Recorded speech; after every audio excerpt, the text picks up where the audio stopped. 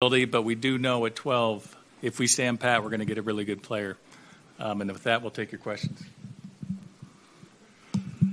Yeah, guys, you said really good player at 12.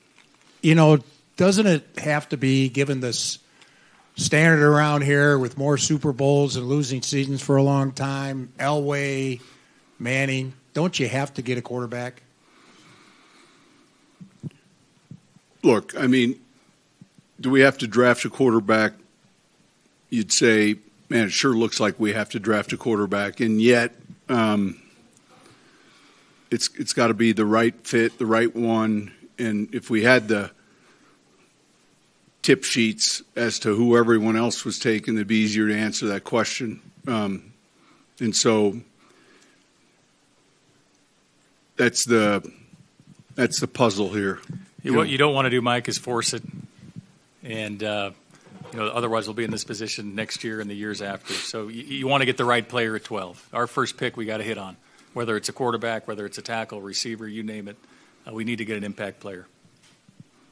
For either of you, um, Sean, you sort of alluded to it. Is it with the number of quarterbacks that are in the mix this year and the number of teams that could use one, does it feel like there's more uncertainty about how the first 10 or so picks shake out, or does is it about normal in that regard? Well, I think typically speaking, every year at this time, um, obviously there's a lot of attention on the draft. It's exciting.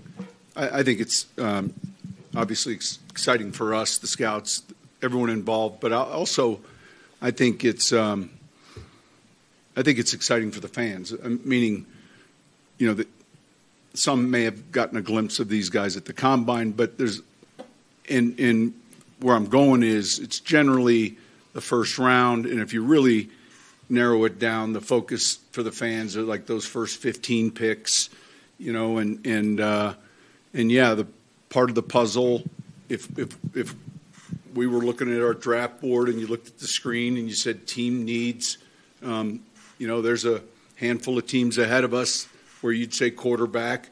And you know, there's and then there's a a team or two, Minnesota, ourselves, the Raiders, you could you could argue quarterback.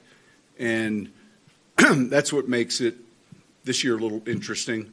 Um, but I think, you know, 95% every year, 95% of the discussion is on 5% of the draft because it's hard for anyone to say, "God, I like this guy in the fourth round." You know, "Wait a minute, I can't keep track of that. I gotta go to work. I got the first round figured out," you know, Uh, for the fan. Um, so I think uh, each year there's there's years that's stronger in certain positions and and then the team needs factor into that. Sean, a couple months ago at the combine, you alluded to having a lot of belief in y'all's quarterback evaluation process. Yeah. So now that you've been through a couple months of meetings, interviews, all that, like, what do you know, what did you kind of learn from that process? Uh, How, and do you feel even stronger about your faith in the process you guys have? Yeah, look, I think the business we're in in the beginning, you know, we have all the tape. Um and then it's you're gathering as much information as you can. You're gathering all the metric, you know, the stuff we can measure. Then you're gathering the interaction, personality, learning, you know, which is very important. There's all of that so that you can make the best decision uh, relative to how you grade them. You know, you're um, obviously, historically speaking, you'd say that it's not a perfect science. You know, shoot, we met last night with. We have a great analytics department and and you're gonna see in the next five, ten years, AI, artificial intelligence, begin to, you know, help in this process as you. Now, again, you you have to provide it with what you think is important. And um, so I I, think it's meant, you know, there's been a lot of flights, you know, a lot of a lot of miles traveled and but for good reason. And and and the process, back to what George said, the process has gone really good. It hadn't been easy all the time, and yet we've had really good discussions down there. Yeah, Sean, uh, Coach, and George, this is for both of you. When you, you look at the quarterback position, you rank your board, I mean, all your players in an order, but when you at 12, do you allow yourself to say, this quarterback for us is 22, but at 12 is where we're staying, we can't move? Does that figure into it, the value of the position as to where you draft to where you have that player ranked on your draft board, or does the quarterback become that great over, just overrules stuff? Well, let me. I'll give you my two cents, and then I, I think this. I think historically speaking, we, our league has always valued certain positions. You know, quarterback, tackles, corners, pressure players, um, and so that factors into the grade. Um, and Belichick was on this podcast the other day, which was kind of interesting because you get a, a, chance to to hear him in a different light, and, and, I've gotten to know him over the years. And he said something that was interesting. Just he's like, look, every one of these teams' boards are different, like dramatically, and then obviously when you move away from one, the margin of difference expands. You know, in other words, as you get closer to one, they're still different, and so um, but do we factor in the position they play relative to? Yeah. I mean, we we're in these group studies in the fifth round, and in the middle of the fifth round, let's say six players, and one of them's an edge player, and the other's uh, I don't know tight end or guard. Um, I don't know that there's any such thing as they're equal, but the the edge player has more value. We're going through that now. We're going through all sorts of clusters throughout the draft, and we may have a guy in pod two, you know, so to speak, who's one, and, and, and another guy who's seven. The other guy may be an edge player. We value him more, you know. So to answer your question, if it's within reason, now you don't want to you don't want the huge reach, but if they're in similar graded areas, pods, whatever you want to buckets um, and then you take the value position, whether it's quarterback, whether it's edge, whether it's corner, you know what they are. And so they do, they are a premium. Uh, you, you, can't reach too much for those guys, you know. Um, so. George and Coach, for both of you guys, you've talked about the importance of the quarterback being able to process what he's seeing out there, do that quickly. How do you project out if that's something he can improve at, if that's something that's going to take three months, six months, a year? I guess just what is that process like in terms of figuring out his ultimate capability there from that standpoint? Go ahead. Well, I just think we we've just spent as much time as we can with these players. You know, we, we give them the test in the off season. We watch them in the Senior Bowl. We watch them in the fall.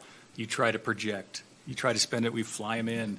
Um, we spend as many hours with these quarterbacks as we've any other players, and so nothing's definite. But you try to project what will be like. Obviously, the tape tells you one thing, and then the meetings, the testing, um, getting around your building, uh, the fit. Um, you're never 100% certain, but you try to project. Uh, you play the odds as much as you can, and you do that by getting around these players as much as possible. There's a lot of discussion. Um, the scouts do a great job. You know, there's a lot of discussion with not just the quarterback position, um, with all of these positions as to their ability to learn retain and and so typically speaking um, we'll get a large group of players. If, you know is he an a learner? That's, that happens right away. B learner.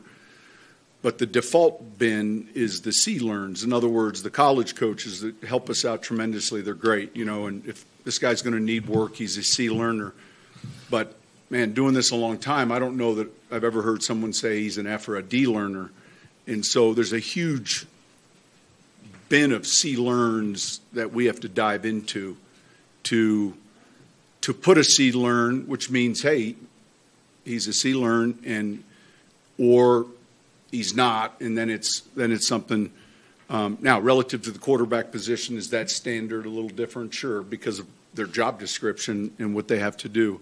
Um, and that I think is something that's that's been part of the journey here the last couple months. I mean, you, you, watch the tape and, but you know, how do they spit it out in the huddle? There's a lot of different offenses, You know, we've had, it's funny when we bring some of these guys in or we go to the schools to visit and, you know, always finish with, hey, you know, if we take you, um, drop your best play. The play has to come with you. You just love this play, and they'll draw it up. And then I'll say, well, how, how do you call it? And I'm always fascinated to hear their terminology. A lot of times their signaling plays in, and and so um, yeah, I mean, I, I think that's the one thing by just watching film that's hard to predict, and it's even it's not like it's fail safe when you go out. You know, we try to send them a lot of information at a certain time the day before, go in, see how much they can digest the next the next day. We, we, do as much as we can. We try to improve on that each year because even like last night, we spent two hours last night with analytics relative to these position uh, evaluations and, and relative to AI and all these other things that um, can begin to help us, you know, let's say increase our batting average in general um, in the draft process. Uh, I guess for, both of you guys, even though you're locked in on your stuff, if you're listening to a Belichick podcast, you're aware there's stuff out there being said. How amused are you during this process when you see people so matter of factly say what you're thinking or which players you guys love or what you're definitely going to do or put this big package together for this or that? You know, we, we it's good to have a pulse what's going on out there. I, I probably don't listen to as many podcasts as Sean, um, but it's good to have a pulse of the league, obviously. Um, you take it with a grain of salt. I mean, really, we don't even know who we're picking at the time. You know, we're at 12. We don't know who's going to be there. We're going through every scenario, every scenario in the first, the third, the fourth. We don't know, so I don't know how anyone else knows. And then when we know, it's only going to be Sean and I. So it's it's you, you, you listen to it, you have a pulse of the league. It's really good to to have a pulse, and then um, no one knows. I I think too. It's back to what I said before. I think I think it's one of the more exciting times of the year for the fan of each team. And um, listen, I've got you name it. I mean, there are people that'll, you know, you get tagged on Twitter, and, and and so when I read these periodically these things, and then maybe read something that's a little closer to the vest than I like, and I'll like click like, all right, who? All right, that's you know Timmy in Tucson. I don't have to worry about him he, he's just right. but I, I, do think it's exciting for the fans, and I think our league has done a really good job um, as this has grown. Um, you know, where it used to be just in this hotel ballroom, and and you, you think about it, we you had to run run up your runner with a piece of paper and the name hopefully spelled correctly and lay it down and then if it's if it's not in time george then someone can pass you like that, that's happened um, and uh, and where we've come in the different cities that get to host it um, so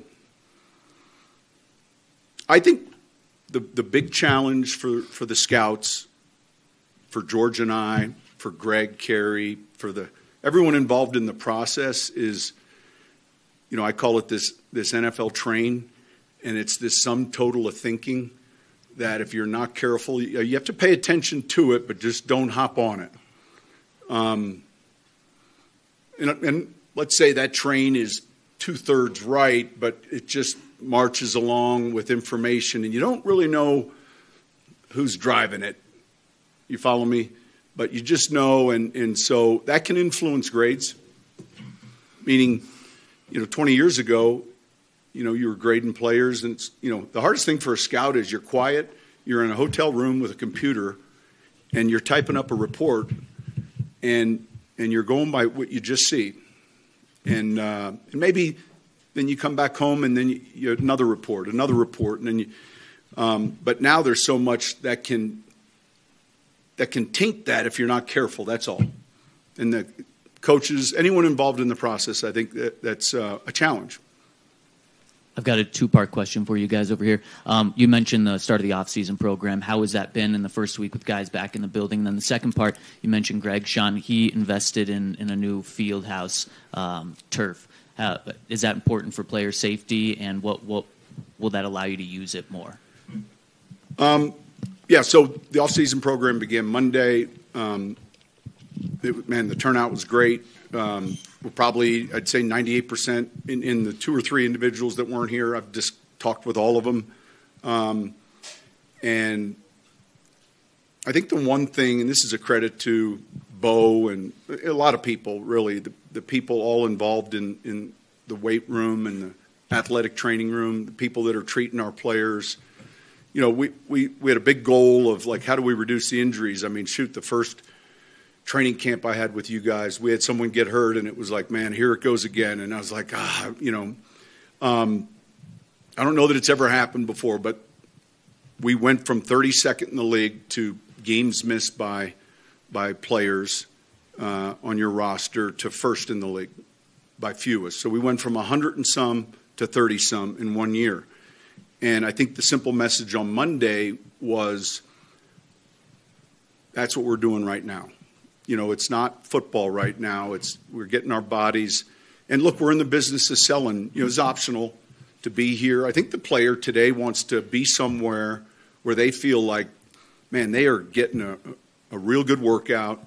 They're getting the the food, the, all the things that go into it, the recovery. If it's a, if it's a player who's coming off an injury, they want to feel like they're getting that. And compared to maybe where they do where they do it in the off season, if they feel like where they're coming from is accomplishing more than when they get here, then that's not good. And so the purpose for that message with me was, hey, we're heading the right direction here. Like, look, our job is to maximize your earning potential, win games, and the first step in doing that is is keeping you healthy. And and so that dramatic of a turnaround in one year, there's a ton of people that that get credit for that. And um, yeah, and so um, it began, and, and, but I don't want them when they pull into the parking lot feeling like they're coming to practice. Uh, you know, it's it's April. I want them to feel like they're coming to get in shape and to take care of their bodies, and uh, that part of it's been good.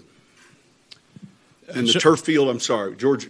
George just mentioned it, so I, I it's the first time I saw it. I hadn't been over here yet, but it looks fantastic. Uh, Sean, intrigued what you said about AI. Is there kind of a, a race in the league right now to kind of figure out best practices, how it's going to really like help you? Did you do you put somebody sort of fully in charge of that kind of department? How how does it work in terms of how you guys are trying to manage how to use that tool? I think. Look, George had gotten with. We have a great group. That, um, man, it's it's impressive. Our group. Um, fortunately, it's not a race. Like no, but I, am just watching this Netflix series on on on the the Manhattan Project, and that was a that was an important race. Um, but I would say, I think there's always a sense of urgency of of getting ahead and creating within the framework of the rules advantages that can help you as a club. Um, and I would say the only thing I would say is we're always opening the door as an eager listener to new ways, and we have to do that as teachers. In, in the same way, when we're evaluating players, how do we how do we do this better? And um, and it just so happened last night we had a, a, pretty lengthy meeting on it that was fascinating, and um, yeah, I think it was good. This is for George and for Sean. I'm going to start with you, George, because you're the one who said it at the beginning of the press conference. You said you feel that you can get a really, really good player at number 12. With that on your board, and it could change, do you have five quarterbacks in that top 12 right now? Yeah, I'm not going to talk about our board right now, but I appreciate the question. But um, I, do, I do think it is a good quarterback class. There's seven eight quarterbacks that we like that think can play in the league one day. I'm not going to get into, you know, how we have them rated or in the top uh, ten. No, I know, but I'm not going to not going to go there. Uh, but it is a good quarterback class. We've it's been fun getting to know them. Um, you know, seven or eight of them, and so we think we can get a quarterback early. We think mid rounds. We think there's going to be quarterbacks, um, you know, throughout the draft that are interesting to us. Any concern? I know it's optional and all that with uh, Courtland not being here, the message he might be sending? Yeah, I mean, it's 100% voluntary, Mike. It's the first week of the off-season program. Sean's talked to Courtland. I've talked to Courtland. He's in a good place. You know, we'll just leave it at that. And then to change gears just a little bit, Sean, uh, a couple weeks ago, you were a hockey coach for the Blues in the alumni game. How did, Yeah, how did I- that come about, and uh, what did you think of that experience? Listen, I, I, it was it was interesting. So there was a benefit for leukemia or cancer in St. Louis, um, and a good friend of mine is fighting that battle right now, Kelly Chase, and he asked me he asked me if I wanted to coach or play. I had played some, and so I started getting with George. His son plays ice hockey. I'm like, where are the rinks around here? And I, you know, I didn't realize I'm like right down the street from University of Denver arena. But anyway, I, I was never able to get the skates on, so I decided I'm, you know, I'm going to coach. So I, we had two teams. Basically, it was an alumni game, the Blues alumni versus the NHL alumni. And I had the NHL alumni, um, and there's a star-studded cast of players. Um, but my biggest concern, it's the only sport that substitutes on the fly, really. It's pretty pretty interesting. And so, you know, everyone's getting in about the same time that morning of and you know, we have a game in six, five hours, and I'm thinking, who's in charge of the substitutions? I know I'm the coach, but like, how do you? And these guys, like, there's 17 players, jump over the wall, everyone slides to the left, they come off, and they had it all handled. Um, no, it was fun. It was uh, it was a great it was a great benefit, successful. Um, I learned a lot. I pulled the goalie. I, well, I turned to Chelios and I said, "Hey, when do we pull a goalie?" And he said, eh, "About two and a half minutes." And then so I'm like, "All right." And then Ray Whitney, I know. I said, "Wiz, you're going to be our extra man." And uh, so we pulled the goalie and scored to tie it up. Now, if I knew it was going to end in a tie, I would have just kept the goalie on the uh, on the bench. But when I finished, I sent Jon Cooper a text, and I've known Jon for a while, the head coach at Tampa Bay, and I said, "Look." I said, aside from putting on a coat and tie, I like your job description on game day. You know, you, you stand behind the bench. These guys are jumping on and off the ice. Um, I'll handle the goalie decision in the third quarter, um, third period. We played halves. We played halves actually. We played a first half and second half. That was the only thing I was familiar with. But um, here's the one thing I came away from it. Regardless, because we had we had the bigger team. Um, we were ahead 4 2 at the half. We had the bigger team, they had the younger team. That concerned me in an alumni game. And the second half, um, this, it kind of flipped on us. And so, um, yeah, I think to see those guys at different age, you know, guys in their 60s, 50s, and they jump back in these skates, and it's like riding a bike for, for them. It was fascinating to watch them skate. Um, and it was uh, it was a great event. Uh, uh, Sean, you said at the owners' meetings it would be potentially realistic to trade up high in the draft. Since then, is it more realistic since then, less realistic since maybe you've learned what the price could be? And would you be willing to trade several future first round picks, the Broncos, if it took that? Well, I mean, look, the hypothetical relative to the what the compensation is is it's it's a lot of times driven by who else is interested. So, um, is George? And he's he's talked to all these teams in front of us, and obviously, depending on how much further you, you go up, and then it's also if there's someone else doing the same thing. Um, and so that, I think George said it best uh, at the very beginning. That certainly is a possibility, and and uh, and then it's how much you can pallet. How, do you just you haven't had first round picks the previous two years. Now you have one. How would you feel about you know last George feeling trading future first round picks? Yeah, I would just say if it's it's a player you think can change the landscape of your organization moving forward, like a quarterback, then you do whatever you take to get him. And uh, if there's a consensus in the building, a love in the building, you're aggressive and you try to get them. Doesn't mean you're going to get them, but you try. And so we're open to everything. We're wide open. The fascinating thing relative to first round picks, you also have to, and it's sometimes hard to do, but when you when you deal in futures, if you think you're going to be picking in the middle, or when you deal in futures like two years out, then there's there's this we got to get you know you don't want to be.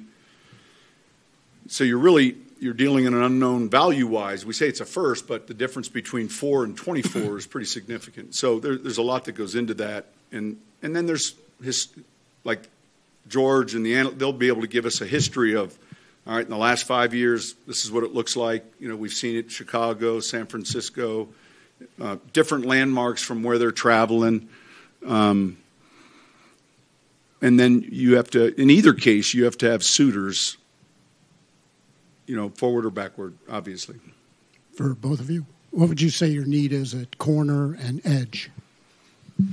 Yeah, I mean, I I think we've, you're always looking for corners, edge, value type positions. We like our corner group. You know, we have one of the best corners in the league. We like our nickel and J-Mac. We have two young outside guys, uh, Riley and Damarri and Tremont. So we have a good young group. They're younger.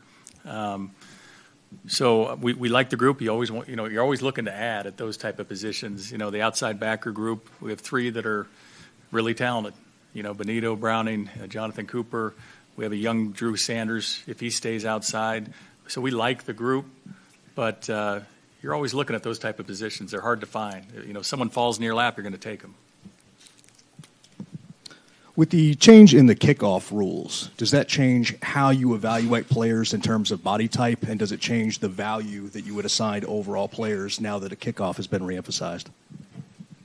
Man, I, I think it's a great question. Um, it's fun that we're doing. I mean, when I say it's fun, I think there's a little unknown. Um, I think this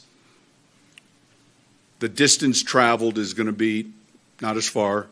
So, you know, when you're covering a kick, um, speed was fairly important uh, relative to getting, as a coverage unit, getting down the field and, and, and getting to the ball carrier. And we've taken that whole group and said, all right, we're going to put you guys 10 yards away. Um, I think certainly it could, you could see uh, probably a little heavier unit then where speed, it, it's, it's, uh, it's certainly going to put a premium on your two returners because you have to have two in, in uh, and then that box where you're kicking the ball to, you know, these guys like third baseman are going to have to be able to field, you know, these kicks pretty cleanly and and uh, but we were for it for a lot of reasons. You know, we add a lot of, a lot of play. We feel like we're one of the better special teams uh, units. Um, we feel like last year we made a lot of gains there. We've got a good returner. We certainly. Uh, uh, as you look at the personnel, though, I think um, the the blocking schemes as you return it, it it's this is this is to um, this is to evolve quickly, I think. And and to your point, do the body types possibly change? Yeah. How much does that change? When we, we see teams players in the draft that there's a few elements. There's traits, all of that, but then there's also this mindset, you know, that some some players possess that tend to maybe uh, um, transfer over in, into that level. But I think um, it is something we're studying, and, and uh, it'll be interesting. Take us inside the war room. When you guys disagree on a player, how do you find compromise, especially when you're on the clock, right? You do arm wrestle, rock paper scissors. Like, how do you guys get through that? Those are all those conversations are done typically before the draft, and you know when we have a difference of opinion, whether it's Sean, myself, myself, and another coach, we just watch. We just get more information, gather more information. Typically, that involves watching more tape together. Uh, we have group studies going on throughout our building right now for these clusters that I talked about to try to break a tie. We have a, you know, so um, I would say it never, it rarely gets to draft day. These discussions, we've had so many discussions. We spend so many hours in our draft room that uh, we've had most of these discussions. Our board will have been set, um, so that rarely comes up in my twenty something years. We have we have fun debate. Like we're we're playing around. I mean, today there's call it three segments in each round, and there's a group of players within that framework, and we're discussing oh, the middle of the fourth, let's say, these six players do we see? And and it's not like without disagreement sometimes. I mean, you know, he and I on on on one position group have a haircut wagered on who goes first. Um, but but they're right there, and and so um, it's it's man, this is this is you know this is the time. This process, it's interesting because I think, and I really like, you know, we, we go through the two weeks of readings with the scouts and the coaches, and then there's another week and a half where we're doing exactly what George said. We're, we're taking a segment later today. You know, we'll be later, let's say later in this draft, and a lot of times when the draft ends and you're signing free agents, they may be players that were in, might be on your sixth round stack or your seventh round stack, and and then um, really trying to order those relative to the funds you have after the draft to pay them and prioritize, you know, and so, um, yeah, I, I, I, in in my time, I would agree with George. I can't ever recall like one of those on draft day. I mean, it would be during the process where then you'd get more film out, and you're like, "There's no way," or you know, so so we got a haircut wagered. I mean, every now and then Sean will say during the draft, I, I really want this player. You know, let's go get him. Uh, but that's the, the, extent of it. And uh, but we all that's kind of the communication throughout the draft.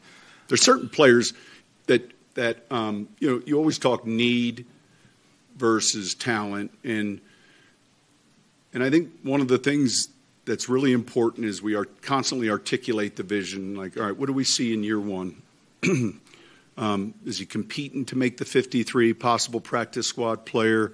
Um, do we see a guy who's going to start? Do we see a guy who's going to, you know, really articulate the vision? And so, certainly, there are certain positions within the framework of our team right now where um, the vision could be clearer, maybe, than other positions.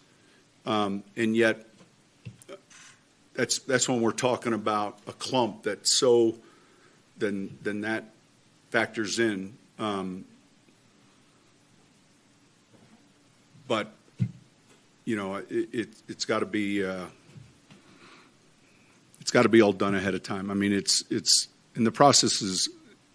It, I don't want to say it, it's enjoyable though. It's it's like it's long. You're in those rooms, but it's it's um, you get to know these yeah. guys. We'll spend four hours on 10 guys that we project in the fifth round.